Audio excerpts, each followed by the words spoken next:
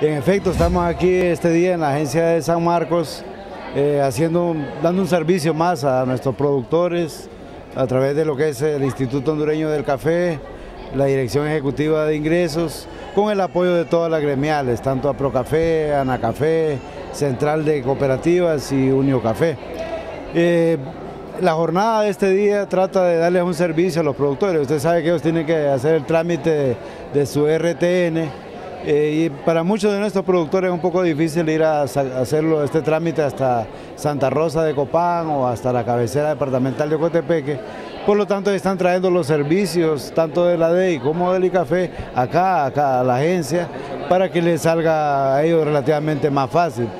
Así que el día de ahora estamos atendiendo un grupo de productores, vamos a atender durante cuatro días, eh, se les está haciendo todo el trámite, el único requisito que ellos tienen que tener es que tienen que tener su carnet de, del ICAFE o tener un número ya que lo tienen en trámite, una copia de la, cédula de identidad, eh, es todo lo que ellos necesitan, se les está entregando un número cuando ellos llegan al local, para que de esa forma se les pueda atender de acuerdo al orden de llegada. También las personas que ya tienen, tienen un RTN, pero que no es numérico, sino que todavía tiene letras, tienen que venir a hacer ese trámite de igual forma. Hay algunos que lo tienen vencido también.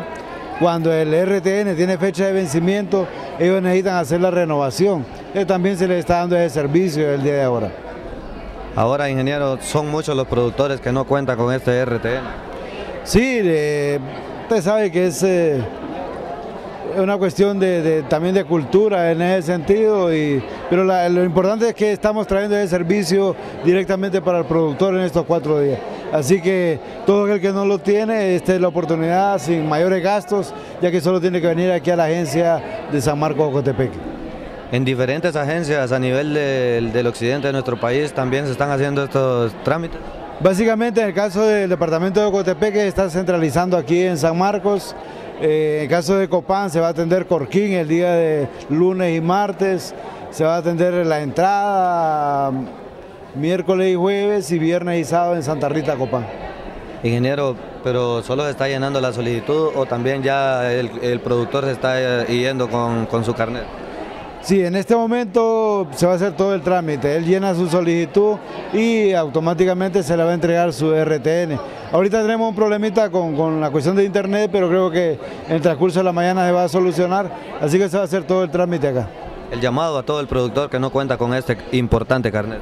Sí, yo creo que es una buena oportunidad que deben de aprovecharlo, como les digo, tanto el ICAFE como las gremiales y la ejecutivos de, la Dirección Ejecutiva de Ingresos están haciendo el esfuerzo de estar acá, entonces de aprovecharlo, ya que el que no logre hacerlo en estos cuatro días tendrá que desplazarse hasta Santa Rosa de Copán.